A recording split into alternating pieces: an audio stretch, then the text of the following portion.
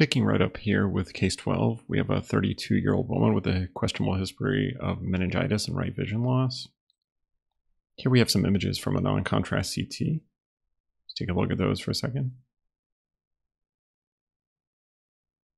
Of course, you're going to get more images from an MRI. Here on the left, you have a FLAIR. In the middle, you have a T2. And here you have a gradient on the right. Here we're going to see some post-contrast images. This is from an axial.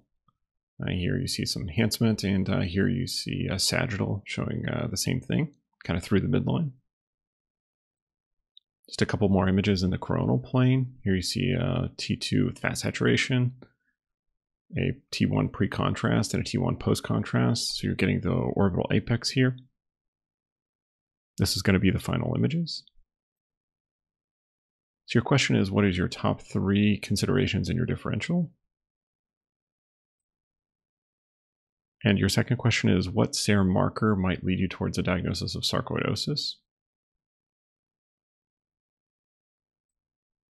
So the diagnosis here is uh, one of nodular leptomeningeal enhancement. So you've got to think about some things in a differential. Those things, uh, the number one thing you want to think about is leptomeningeal cancer or carcinomatosis.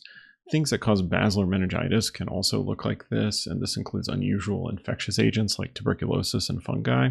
Sarcoidosis is a major consideration here as well. So this is really a differential case. Uh, this patient happened to have sarcoidosis. Uh, sarcoid, especially neuroradiology, is uh, almost a syphilis-like entity, which can look like a lot of different things. The classic appearance is a basal meningitis, uh, where you have kind of nodular thickening and leptomeninges that are worse in the basal cisterns and at the skull base. You can get parenchymal nodules and perivascular enhancement. Uh, sarcoidomas are sarcoid-related masses that are usually T2 hypointense and can have variable enhancement. Uh, the workup for this is to do an LP to get a chest x-ray or chest CT to look for nodules and hila. Uh, those are frequently seen with sarcoidosis. A serum ACE level can also point you towards sarcoidosis. So here you see this is what classic sarcoidosis looks like. So in this case, these are some post-contrast images showing some enhancement along the surface of the midbrain pons here.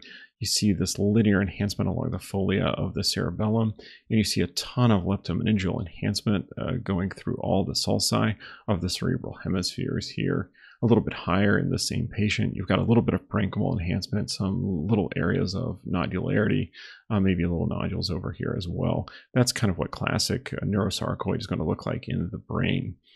Uh, so you see the nodular enhancement there, a little bit of parenchymal nodularity there as well.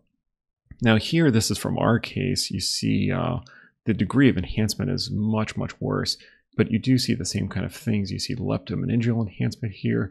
You see these parenchymal nodules, and they're a little bit dark to intermediate on T2. So you've got the parenchymal nodules.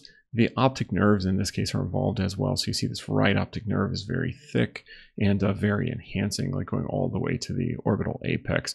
So this has all the features, but it's a really extreme case. It's one of the worst cases of sarcoidosis that I've ever seen. Uh, your second question was what serum marker leads you towards a diagnosis of sarcoidosis. We already mentioned that, that it's the angiotensin converting enzyme. IgG4 is associated with uh, orbital pseudotumor or orbital inflammatory disease. Aquaporin antibodies are associated with neuromyelitis optica, and antinuclear antibodies are associated with all of the uh, lupus spectrum disorders.